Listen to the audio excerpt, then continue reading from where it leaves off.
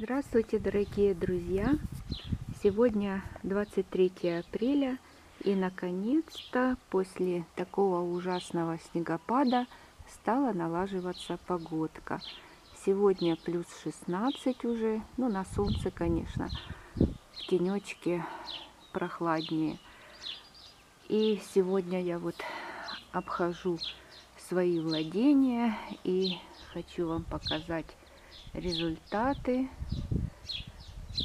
не результаты, а вообще последствия, так сказать, этого ужасного снегопада. Сейчас вот посмотрим, в каком состоянии сосна горная.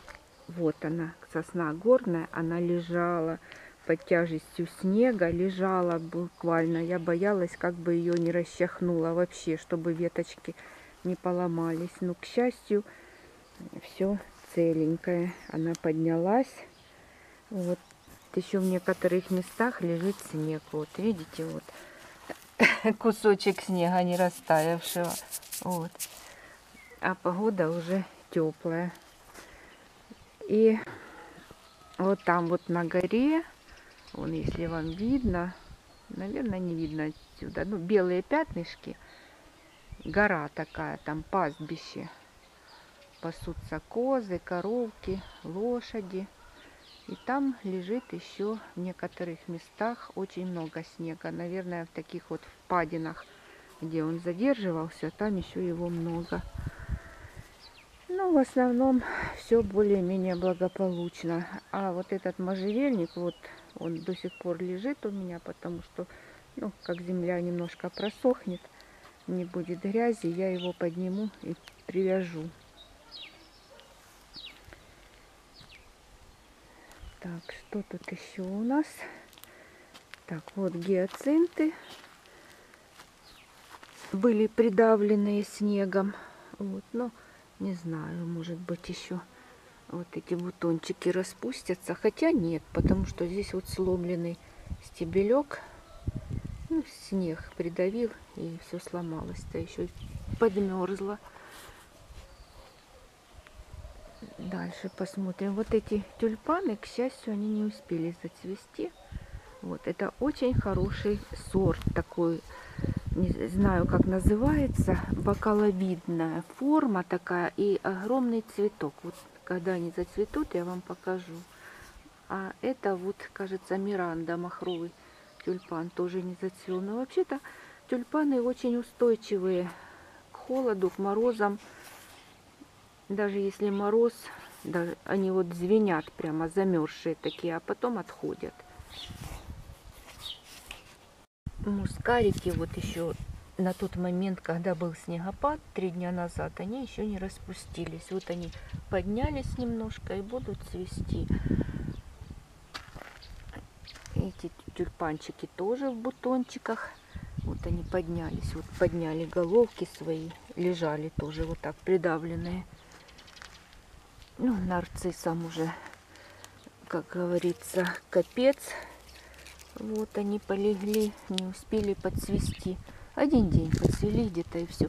А эти нарциссики были тогда еще только в бутончиках. Вот их не так вот травмировал мороз. Вот и эти были в бутончиках, сейчас они цветут. Вот. Это более поздний сорт. Это вот грядочка с новыми тюльпанчиками. Я их сажала осенью. Они не успели зацвести. И вот теперь думаю, что зацветут. Не сильно пострадали они от мороза, от снегопада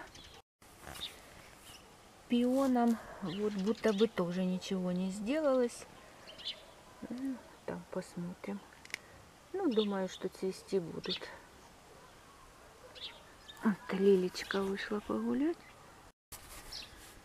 Ну, здесь у меня солнечное место везде. Тени нету, поэтому нету и снега. Весь потаял уже. Цветет крыжовничек вот у меня. Думаю, что ему ничего не будет.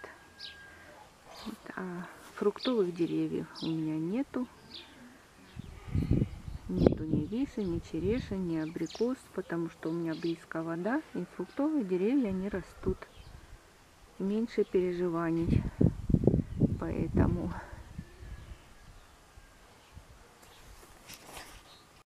А вот моя собачка Дульсинея, красавица. Дунь, да посмотри сюда, Дуня, Дунь.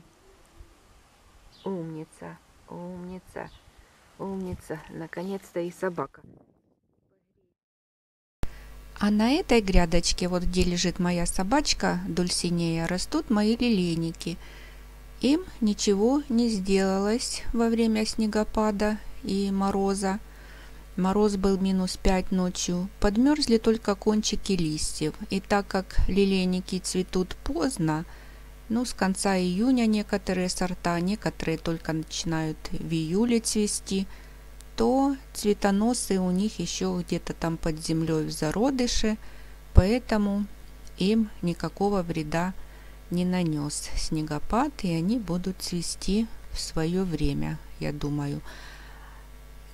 Э, их нужно пересадить, потому что я здесь буду делать водоемчик небольшой. Ну, под вопросом, то ли в этом месте, то ли в другом месте. Я еще не выбрала окончательно место. Водоем нужно делать в самом низком месте участка. У меня как раз такое место есть. Или вот это вот, или это место. И, скорее всего, я уже определилась с выбором места. Вот я даже отмерила и очертила песочком контуры водоема. И, наверное, буду сдел делать его здесь. Мне очень нравится делать вообще такие работы. Я очень люблю землю копать. И хочется сделать своими руками. Водоемчик, прудик будет небольшой – посажу растения водные. Уже я заказала, скоро придет посылочка с пятью растениями. А дальше я с вами поделюсь, что будет дальше. На следующих кадрах, вот сейчас я хочу вам показать для сравнения, что было у нас всего лишь каких-то два дня назад. Вот лежит мой можжевельник, который свалила буря. Мало того, что снегопад был сильный, сильнейший, так была еще сильная буря, прямо ураган. По городу вообще много деревьев упало. Это я просто сижу на своем участке, здесь в своем доме, и не все видела, не все знаю. А вот дети мои рассказывают, они же на работу ездят же каждый день.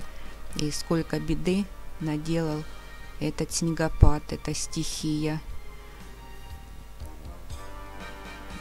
Ну, у меня это дело поправимое. Можжевельник я подниму, привяжу его веревками покрепче, так как была уже буря два года назад, и он уже у меня падал. Ну, как-то получается так, что ветер с корнем подрывает его, и он падает. Единственное дерево вот в моем саду, которое падает после бури. Очень странно мне самой. Вот. И мои нарциссики, конечно, они не отошли. Тюльпаны, они более устойчивые к холоду, к морозам. А нарциссы, вот они замерзли и в таком состоянии. Вот они оттаяли сейчас и будут они теперь постепенно усыхать, эти цветочки и замерзшие листики и до следующего года у них начнется период спячки, и взамен скоро начнут цвести другие растения, не такие ранние. Вот в новостях передали, что некоторые населенные пункты, не некоторые, их где-то около 100, до сих пор сидят без электричества. У нас электричества не было ровно сутки где-то, и то на разных улицах по-разному. Где-то порвало провода, потом через какое-то время восстановили, приехали монтажники, аварийка, и так вот по очереди, где не было света, его восстановили в течение суток, и не было даже интернета, потому что у меня проводной интернет и тоже он зависит от электричества. А многие населенные пункты вот до сих пор сидят без света. Без света сидеть в наше время это, конечно, катастрофа. Ничего не работает. Но для меня самое главное, чтобы работал компьютер. Без компьютера я просто чувствую одиночество. Это вот гиацинты. Гиацинты тоже под снегом и вот некоторые сорта будут еще дальше цвести, те, что в бутончиках, а те, что уже успели расцвести и их придавил снег, они уже не отойдут тоже до следующего года. Луковица то сохраняется, с луковицей ничего не произойдет, она не замерзла. Вот они, красавчики. Я их только купила вот осенью и посадила. Всем большое спасибо за просмотр и за подписку на мой канал.